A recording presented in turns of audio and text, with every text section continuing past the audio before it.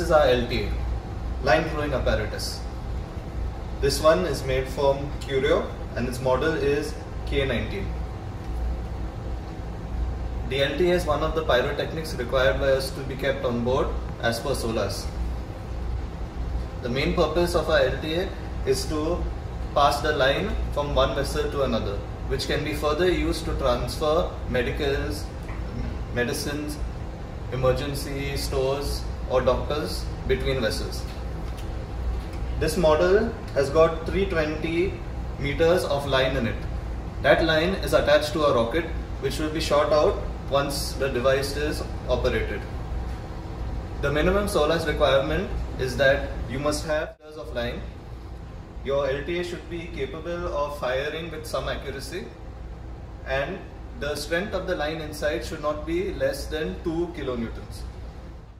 Operation procedures of an LTA. Operation procedures are clearly illustrated on your LTA and they must be followed to the T. The first, uh, the first step is removing the red cap of the LTA. Once you remove the red cap, then you will fasten the line inside to a strong point on board your vessel. This arrow will indicate the direction in which the rocket shoots out.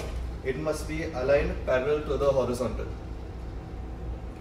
Once it is parallel to the horizontal, you will support the LTA with your leg and take aim. By taking aim, if there is no wind, you can just take aim and fire. However, if there is a wind, you must aim 45 degrees downwind.